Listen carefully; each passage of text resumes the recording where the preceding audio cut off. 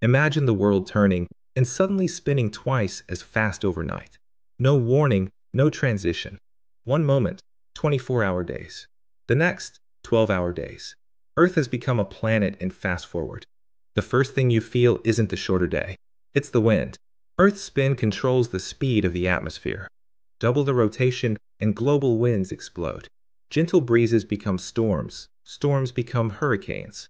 Hurricanes become something entirely new. Planet-wide megawinds circling the equator at hundreds of kilometers per hour. Cities near coastlines get shredded before sunrise. Earth is not a perfect sphere.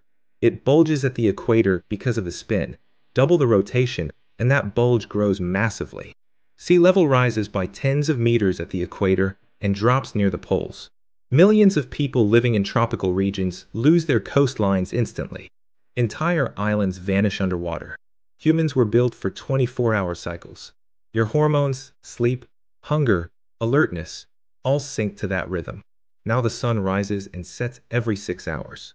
Two sunrises, two sunsets. Every day, most people develop immediate sleep disorders. Circadian rhythms collapse. Mental health drops fast. Hospitals fill with confused, exhausted people. Daytime becomes scorching. Nighttime becomes freezing. Because now the sun races across the sky twice as fast. Heat doesn't have time to spread. Cold doesn't have time to fade. The world splits into flash heating days and deep cooling nights. Agriculture collapses. Crops can't adapt to rapid temperature swings. Faster spin means stronger Coriolis forces.